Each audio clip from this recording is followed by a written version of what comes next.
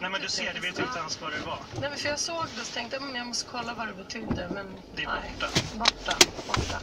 Min egen förpappring den blir alltid väldigt uppenbar så här vid juletid. Särskilt om jag råkar vara ledig, vilket jag inte alltid har varit på jularna. Jag har bland annat jobbat i en känd skoaffär i många år. Och sen så har jag ju suttit i den här stolen under många jular och sådär.